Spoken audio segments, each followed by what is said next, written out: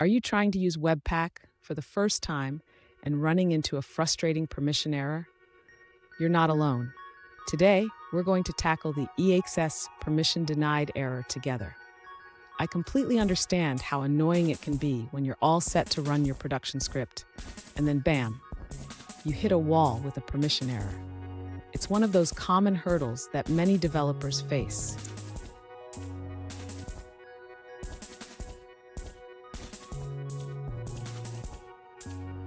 Let's dive into the specific issue at hand. One user recently asked, how can I resolve the EACCES permission denied error when using Webpack? They mentioned trying to create a directory called dist, but received an error message instead.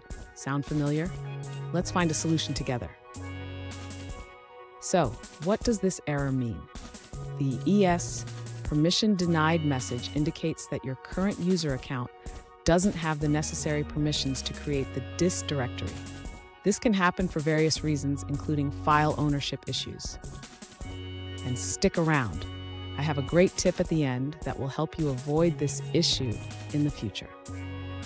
To resolve the permission denied error, the user should first check the current permissions of the directory where they are trying to create the dist folder.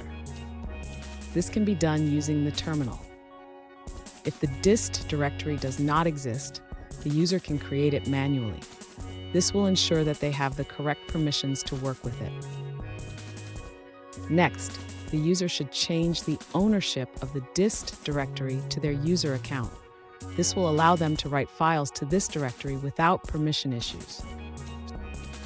Finally, the user can try running their production script again. This time, they should not encounter the permission denied error. Fun fact, did you know that the term EACCES stands for error access? It's a reminder that sometimes, even in coding, we need to ask for permission. Now let's look at the answers provided by other users. An alternative solution suggests that the permission denied error may not be the real issue. It could be due to a simple mistake in your configuration, where you accidentally used a single forward slash instead of a dot and a forward slash. This means NPM can't access the root directory, which is outside your user directory.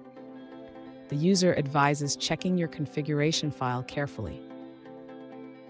Here's a pro tip.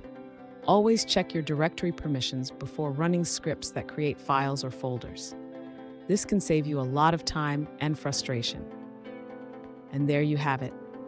You should now be able to run your Webpack production script without any permission issues.